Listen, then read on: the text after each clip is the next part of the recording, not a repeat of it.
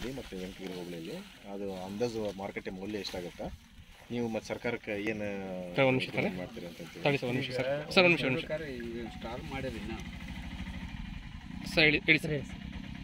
ಕಳೆದ ಮೂರ್ನಾಲ್ಕು ದಿನಗಳಿಂದ ಏನು ನಮ್ಮ ಗಂಗಾವತಿ ತಾಲೂಕಿನಲ್ಲಿ ಅದರಲ್ಲಿ ಆನೆಗುಂದಿ ಭಾಗದಲ್ಲಿರ್ಬೋದು ವೆಂಕಟಗಿರಿ ಹೋಬಳಿಯಲ್ಲಿರ್ಬೋದು ಎಲ್ಲದರಲ್ಲೂ ಸಹಿತ ಬಹಳ ಮಳೆ ಮೂರ್ನಾಲ್ಕು ದಿವಸದಿಂದ ಸತತವಾಗಿ ಮಳೆ ಆಗ್ತಾ ಇರೋದ್ರಿಂದ ರೈತನಿಗೆ ಬಹಳ ನಷ್ಟ ಆಗಿದೆ. ಈಗಾಗಲೇ ನಾನು ಸಹಿತ ಈ ಗದ್ದೆಗಳಿಗೆ ಭೇಟಿ ಕೊಡೋದ್ರ ಮುಖಾಂತರ ಪರಿಸ್ಥಿತಿಯನ್ನು ನೋಡಿದ್ದೇನೆ. ಜೊತೆಗೆ ಎಷ್ಟು ಹಾನಿಯಾಗಿದೆ, ಏನಾಗಿದೆ ಅನ್ನೋದು ಈಗಾಗಲೇ ಜಿಲ್ಲಾಡಳಿತ, ತಹಸೀಲ್ದಾರು ಎ ಸಿ ಅವರು ಸ್ವತಃ ಖುದ್ದು ಅಡ್ಡಾಡಿ ನೋಡ್ತಾ ಇದ್ದಾರೆ. ಯಾಕಂದ್ರೆ ಅದ್ರ ಬಗ್ಗೆ ಮಾಹಿತಿ ಬೇಕಾಗ್ತದೆ. ಅದಕ್ಕೆ ಸರ್, ನಂದು ಒಂದೇ ಏನಂತಂದ್ರೆ, ನಮ್ಮ ಸರ್ಕಾರ ಸನ್ಮಾನ್ಯ ಮುಖ್ಯಮಂತ್ರಿಗಳಿರ್ಬೋದು ಸಚಿವ, ನಮ್ಮ ಕೃಷಿ ಸಚಿವರಲ್ಲಿ ಮನವಿ ಮಾಡೋದು ಅಂತಂದ್ರೆ, ರೈತ ಭಾಳ ಕಷ್ಟದಲ್ಲಿದ್ದಾನೆ. ಜೊತೆಗೆ ರೈತನ ಬೆಳೆದಂಥ ಬೆಳೆಗಳು ಭಾಳ ಹಾನಿಯಲ್ಲಿದ್ದಾವೆ. ಆದಷ್ಟು ಹೆಚ್ಚಿನ ರೀತಿಯಲ್ಲಿ ಈ ಫಸಲ್ ಬಿಮಾ ಯೋಜನೆ ಇರ್ಬೋದು ಅಥವಾ ಎಸ್ ಡಿ ಎಫ್ ಅಥವಾ ಎನ್ ಡಿ ಆರ್ ಎಫ್ ಅಂತ ಏನು ಹೇಳ್ತೀವಲ್ಲ, ಆ ಯೋಜನೆ ಅಡಿಯಲ್ಲಿ ಹೆಚ್ಚಿನ ರೀತಿಯಲ್ಲಿ ರೈತನಿಗೆ ಅನುಕೂಲ ಆಗುವಂಥದ್ದು.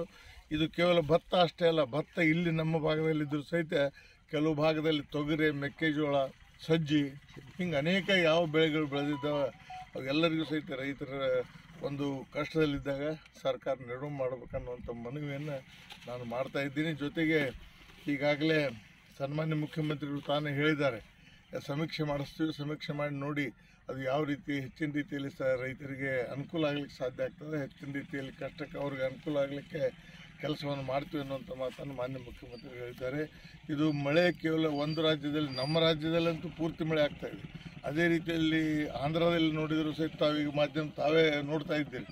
ಮಳೆ ಇವತ್ತು ಒಳ್ಳೇದಕ್ಕೆ ಬರ್ತದೆ ಅನ್ನೋದಕ್ಕಿಂತ ಕೆಟ್ಟದಕ್ಕೊಮ್ಮೆ ಮಳೆ ಬರ್ತದೆ ಅಂತ ಅನಿಸ್ತಾ ಇದೆ. ಯಾಕಂದ್ರೆ ರೈತ ಇವತ್ತು ಮಳೆ ಬೇಕಾಗಿಲ್ಲ ನಮಗೀಗ. ನಮಗೆ ಒಂದು ಹದಿನೈದು ಇಪ್ಪತ್ತು ದಿವಸ ಬಿಟ್ಬಿಟ್ರೆ ನಮ್ಮ ರೈತರೆಲ್ಲರೂ ಕಟಾವು ಮಾಡ್ಕೊಂಡು ಮನೆಗೆ ಓದ್ಬಿಡ್ತಾರೆ ತಮ್ಮ ಮಾಲನ್ನ ಆದರೆ ಅನಿವಾರ್ಯವಾಗಿ ಇದು ಕಷ್ಟದಲ್ಲಿರೋದ್ರಿಂದ ಸರ್ಕಾರದಿಂದ ಏನು ಕಾನೂನಾತ್ಮಕವಾಗಿ ಕೊಡಬೇಕಾಗ್ತದೆ ಆ ಕೆಲಸವನ್ನು ನಮ್ಮ ಸರ್ಕಾರ ಮಾಡುತ್ತೆ ಅನ್ನುವಂಥ ಮಾತನ್ನು ಹೇಳ್ತಾರೆ ಸರ್ ಈಗ ಕಳೆದ ಬಾರಿ ಒಂದು ಹೋಗಿತ್ತು ಯಾಕಂದ್ರೆ ಈಗ ನೀತಿ ಸಂಹಿತೆ ಇರೋದ್ರಿಂದ ನನಗೆ ತಿಳಿದ ಮಟ್ಟಿಗೆ ನಾನು ಏನು ಮಾತಾಡಬೇಕು ಸರ್ಕಾರ ಏನು ಮಾಡಬೇಕು ರೈತರಿಗೆ ಯಾವುದೇ ರೀತಿಯಲ್ಲಿ ಅನ್ಯಾಯ ಆಗಿಲ್ದಂಗೆ ಸರ್ಕಾರ ಸನ್ಮಾನ್ಯ ಮುಖ್ಯಮಂತ್ರಿಗಳು ಸಚಿವರು ನೋಡ್ತಾರೆ. ಜೊತೆಗೆ ಮೊನ್ನೆ ಹೋಗಿದ್ದೆ ನಾವು M S P rate M R P rate ಹೋಗಿದ್ವಿ. ಅಂದರೆ ಸಪೋರ್ಟ್ ಪ್ರೈಸ್ಗೆ ಅಥವಾ ಖರೀದಿ ಕೇಂದ್ರ ತೆಗೀರಿ ಅಂತೇಳಿ ಹೇಳಕ್ಕೆ ಹೋಗಿದ್ವಿ.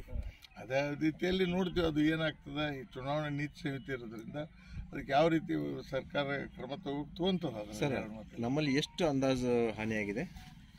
ಅಂದಾಜು ಈ ಭಾಗದಲ್ಲಿ ನನಗೆ ನಿಂತಿದ್ದಂಗೆ ಮುನ್ನೂರ ಐವತ್ತು ಹೆಕ್ಟೇರ್ ಹೆಕ್ಟೇರ್. ಅಂದಾಜು. ಇನ್ನಾದ್ರು ಪೂರ್ತಿ ನಮ್ಗೆ ಸಿಕ್ಕಿಲ್ಲ ಮಾಹಿತಿ. ಮುನ್ನೂರ ಐವತ್ತು ಹೆಕ್ಟೇರ್ ಅನ್ನುವಂಥ ಮಾತಿದೆ.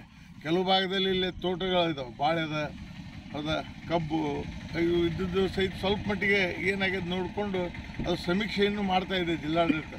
ಆ ಸಮೀಕ್ಷೆ ನೋಡಿಕೊಂಡು ಸರ್ಕಾರ ಒಂದು ನಿರ್ಧಾರ ತಗೊಂಡು ಅಲ್ಲ ಅಂದಾಜು ಎಷ್ಟು ಮೌಲ್ಯದ ಭತ್ತ ಹಾನಿಗಿದೆ ಅಂತ ಸರ್ವೆ ನಡೆಸಿರಲ್ರಿ ಕಂದಾಯ ಈಗ ಮುನ್ನೂರ ಐವತ್ತು ಎಕರೆ ಅಂದ್ರೆ ಎಷ್ಟು ಅಂತ ಬೆಲೆ ಗೊತ್ತಾಗಿರುತ್ತೆ? ಮುನ್ನೂರ ಐವತ್ತು ಹೆಕ್ಟೇರ್ ಅದು ಹೆಕ್ಟೇರ್ ಎರಡೂವರೆ ಎಕರೆ. ಅಲ್ಲ ಅಂದಾಜು. ಸಾವಿರ ಎಕರೆ ಅಲ್ಲ ಸರ್ ಬೆಲೆ ಮುನ್ನೂರ ಐವತ್ತು ಹೆಕ್ಟೇರ್ ಅಂತಂದ್ರೆ ಅದ್ರದ್ದು ಅಂದಾಜು ಬೆಲೆ ಇಷ್ಟು ಅಂತ ಅಂದಾಜು ಒಂದು ಎಪ್ಪತ್ತು ಚೀಲಕ ಎಪ್ಪತ್ತೈದು ಕೆ ಜಿ ಚೀಲಕ್ಕೆ ಮುನ್ನೂರ ಹದಿಮೂರು ನೂರು ರೂಪಾಯಿ ರೇಟ್ ಅದ. ಹನ್ನೆರಡು ನೂರ ಐವತ್ತರಿಂದ ಹದಿಮೂರು ರೂಪಾಯಿ ರೇಟ್ ಅದ.